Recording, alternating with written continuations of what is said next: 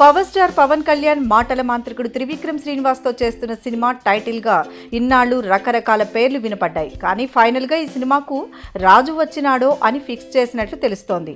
Pawan Kalyan engineering స్టూడెంట్గా నటిస్తున్న ఈ సినిమా త్రివిక్రమ్ మార్క్ కథ కథనాలతో వస్తోంది.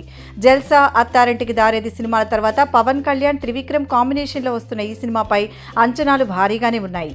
కీర్తి సురేష్ అను ఇమ్మాన్యుయల్ హీరోయిన్స్గా నటిస్తుండగా కె రాధాకృష్ణ ఈ సినిమా నిర్మిస్తున్నారు.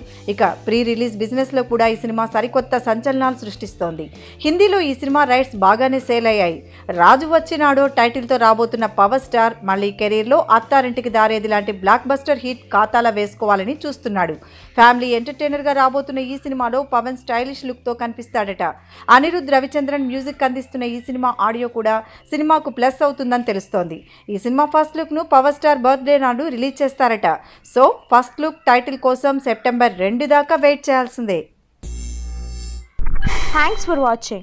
For more interesting updates, don't forget to subscribe Filmy Looks.